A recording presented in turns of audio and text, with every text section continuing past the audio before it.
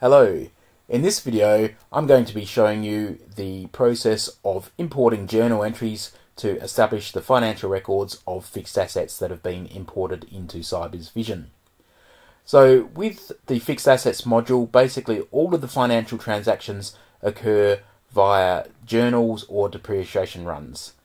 So on this occasion we're going to be doing the fixed asset journal and just like a number of other transactions within the software there is the ability to import lines into the journals. And if you've not done that before, the lines layout can be spat out as well into Excel to give you the column headers and the right format to import in. So I'll just give you a brief look at that particular import file that we're about to import and that's the format of it there. So what we'll do now is we'll go back in to Sybiz Vision and we'll go and import the lines from that file and bring them into the fixed assets journal.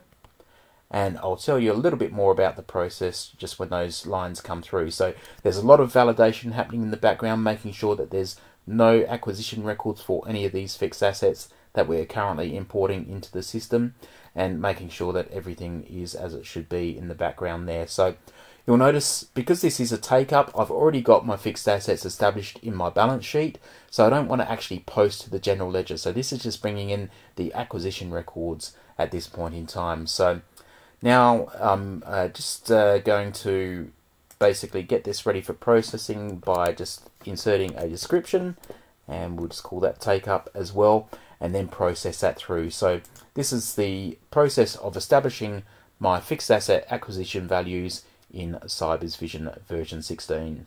So thank you for watching and thank you for choosing Sybase.